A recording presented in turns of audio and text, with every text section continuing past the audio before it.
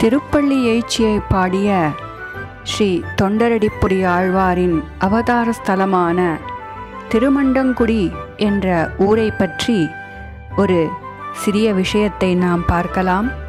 ஆனால் இது மிகப்பெரிய விஷயம். மண்டம் என்பது நன்கு காய்ச்சப்படும் பாலின் மீது திரண்டு வரும் ஏட்டை குறிக்கிறது. அப்படியென்றால் என்ன? இந்த ஊரில் வாழ்பவர்கள் வேதங்களை ஓதுவது உள்ளூர சிந்திப்பது பிறருடன் விவாதிப்பது முதலிய செயல்களின் மூலம் வேதங்களின் சாரமாக அனைத்து விஷயங்களையும் திரண்டு நிற்கும் பரமாத்மனை முழுமையாக கண்டு உணர்ந்தவர்கள். அதனாலேயே இந்த ஊருக்கு திரு மண்டங்குடி என்று பெயர் வந்தது. அந்த வேதநாயகனான எம்பெருமான் ஸ்ரீரங்கத்தில் பள்ளி கொண்டிருக்கிறார் என்பதை அனுபவத்தில் கண்டுகொண்ட தொண்டரடிப்பொடி ஆழ்வார் நம் அனைவரையும் திருப்பள்ளி எழுச்சி பாட அழைக்கின்றார். வாருங்கள் அனைவரும். இரண்டாவது பாசுரம். கொழுங்கொடி முல்லையின் கொழுமலரணவி கூர்ந்தது குணதிசை மாருதம் இதுவோ? எழுந்தன மலரணை பள்ளி கொள்ளன்னம் ஈன் பனி நனைந்த தம் இரு சிறகுதரி விழுங்கிய முதலையின் பிலம்புரை பேழ்வாய் வெள்ளைய இரு உற அதன் விடத்தினுக்கணுங்கி அழுங்கிய ஆனையின் அருந்துயர்கெடுத்த அரங்கத்தம்மா பள்ளி எழுந்தருளாயே. சூரியனுக்கே நேரே உறவான தாமரை பூவினுடைய விகாசமன்றியே நிலப்பூவான முல்லைப்பூவும் விகசித்தது. கீழ்காற்றானது அதன் மனத்தை கொண்டு தேவரீரை திருப்பள்ளி உணர்த்துமா போலே வந்து வீசுகின்றது. இக்காற்று வீசினவாறே. புஷ்பசயனத்தில் கிடந்துறங்கின ஹம்ச மிதுனங்களும் பொழுது விடிந்தது என்றறிந்து இரவெல்லாம் தமது இறகுகளில் படிந்து கிடந்த பனித்திவலைகளை உதறிக்கொண்டு உறக்கம் விட்டு எழுந்தன. கஜேந்திர ஆழ்வானை அன்று கொடிய ஆபத்தினின்றும் விடுவித்து காத்தருளிய எம்பெருமானே இன்று அடியோங்களையும் காத்தருள்வதற்காக தேவரீர் திருப்பள்ளி எழுந்தருள வேண்டும் என்று பிரார்த்திக்கிறார். இங்கு என்ன ஆச்சரியம் என்றால் யானையானது முதலையினால் கவ்வப்பட்டதே தவிர விழுங்கவில்லை. ஆனால் அப்படி இருக்க இங்கு ஆழ்வார் விழுங்கிய முதலையின் என்று பாடலாமோ என்னில் பசங்கள் சின்ன குழந்தைகள் கிணற்றருகே போயிற்றென்றால் ஐயோ குழந்தை கிணற்றில் விழுந்து விட்டது விழுந்து விட்டது என்பதுமா போலே இங்கும் ஆழ்வார் பாடியுள்ளார். இந்த பாசுரத்தில் ஆழ்வார். புஷ்பங்களில் அம்சங்கள் சயனம் செய்து கொண்டிருந்தன என்றும் அவை பொழுது விடிந்ததும் சிறகுகளை உதறிக்கொண்டு எழுந்தன என்றும் பனித்துளிகள் அதன் சிறகுகளிலிருந்து வெளிப்பட்டதென்று மூன்று விஷயங்களை கூறுகிறார்.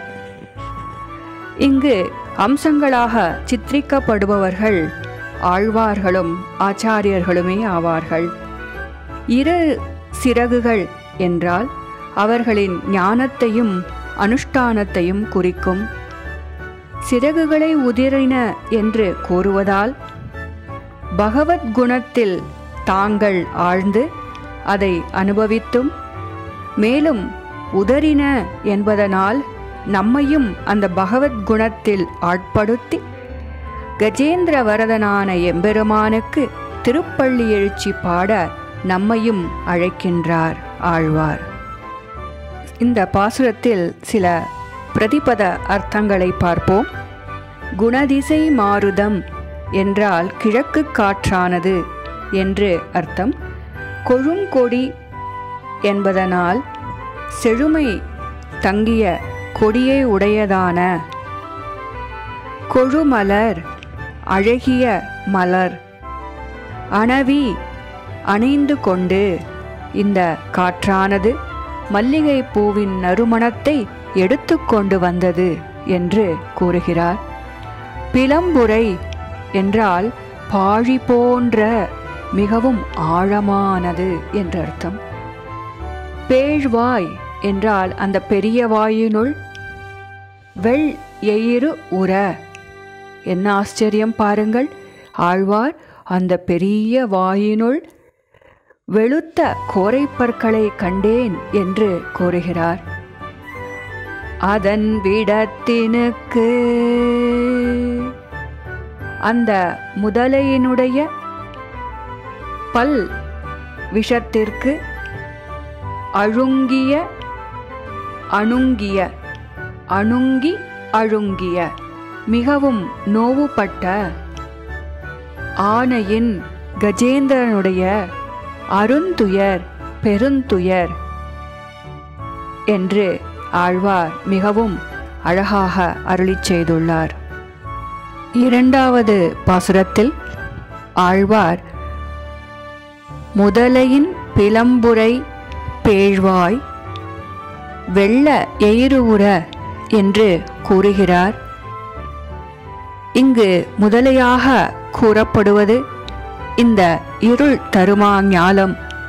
அது எப்படிப்பட்டது என்றால் மிகவும் பாழியாக இருக்கக்கூடியது.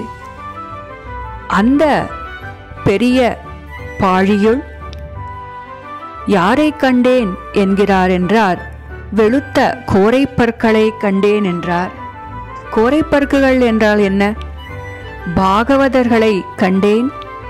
பாகவதர் பரியந்தமாக கைங்கரியத்தை கொண்டருள வேண்டும் என்று பிரார்த்தித்து அருளிச் செய்துள்ளார்.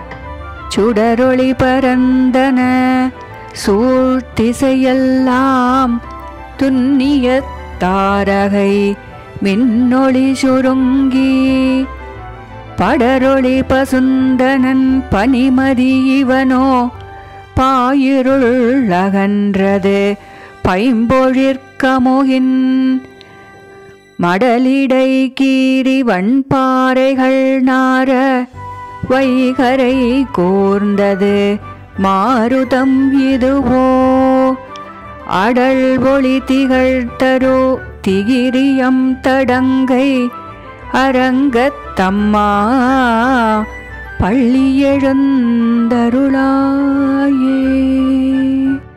முதல் பாட்டில் கதிரவன் கிழக்கு தசு திசையில் உதயகிரியில் சிகரத்தின் மேல் வந்து சேர்ந்தான் என்றார். இப்பாட்டில் நேராக உதித்து தானே தேஜஸை எங்கும் பரப்பிக்கொண்டு வந்து தோன்றினான் என்கின்றார். கண் பார்வை புகுமிடம் எங்கும் சூரிய கிரணங்கள் பரவிவிட்டன. நட்சத்திரங்கள் பிரகாசம் குன்றி போய்விட்டது. நட்சத்திர அதிபதியான சந்திரனும் வைவர்ணியம் அடைந்தான். அப்படியென்றால் பகல் விளக்கு போல் பகல் விளக் விளக்கு என்றால் பிரகாசம் குன்றிப்போனான் என்றர்த்தம். மேலும் பாக்குச் சோலைகளின் மடல் விரிந்த பாளையின் பரிமணத்தை முகந்து கொண்டு விடியற்காலை காற்றானது மிகுதியாக வீசுகின்றது. கையும் திருவாழியும் ஆன தேவரீருடைய அழகிய தங்கள் திவ்யமங்கள ரூபத்தை நாங்கள் கண்டுகளிக்கும்படி திருப்பள்ளி உணர்ந்தருள வேண்டும் என்று பாடுகிறார். இங்கு திகிரியன் தடங்கை என்று ஆழ்வார் அருளுகிறார். திகிரி என்றால் திரு ஆழி ஆழ்வான் திருச்சக்கரத்தை தமது கைகளில் உடைய எம்பெருமான் என்ற அர்த்தம். மேலும் சில பத அர்த்தங்களை பார்க்கலாம். கீழ்த்திசையெல்லாம் என்றால் பார்க்கும் இடம் எங்கும். சுடர் ஒளி சூரியனின் கிரணங்களானவை பரந்தன பரவிவிட்டது என்று அர்த்தம்? துன்னிய தாரகை. மிகவும் ஆச்சரியமான விஷயம் இது. நெருங்கிய இல்லை இல்லை ஆகாசத்தில் நெருங்கிய நட்சத்திரங்களுடைய தேஜஸ் குறைந்துவிட்டது என்றார். பனிமதி இவன் என்றால் இக்குளிர்ந்த சந்திரன் என்ற அர்த்தம். சந்திரனுடைய தேஜஸும் தாரகைகளுடைய தேஜஸும் சூரிய கிரணங்களால் குறைந்துவிட்டது என்று பாடுகிறார். பாயிருள்ளகன்றது. படர்ந்த இரவு பொழுதானது முடிந்தது என்றும் வைகரை என்றால் விடியற் காலையில் மாருதம் இதுவோ? மாருதம் என்றால் காற்று. இந்த விடியற்காலையில் வரக்கூடிய காற்று எப்படி உள்ளது தெரியுமோ பிரபோ? என்று கூறுகிறார்.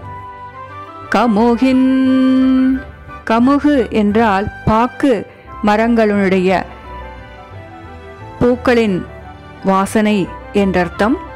பாக்கு மரத்தின் வாசனைகள் வண்பாறைகள் நார. எப்படி தாமரை பூவானது மலருமோ அதைப்போல் பாக்கு மரங்களும் மலர அதிலிருந்து பரிமளமானது இந்த காற்றுடன் சேர்ந்து வீசுகின்றது என்றார். அடல் என்றால் பெருத்த மிடுக்கை உடைய சக்கரத்தாழ்வான் என்று பொருள். இங்கு வன்பாளைகள் என்று கூறுகிறார். பாளைக்கு வன்மையாவது ஔதாரியம். அப்படியென்றால் என்ன? தன் பக்கத்திலுள்ள மனத்தை கொடுக்கக்கூடியது என்று அர்த்தம். சக்கரதாரியான எம்பெருமானுக்கு சுப்பிரபாதத்தை பாடினார். திருப்பள்ளி எழுச்சியை எழுப்பினார் இந்த பாசுரத்தில் அடியேன்.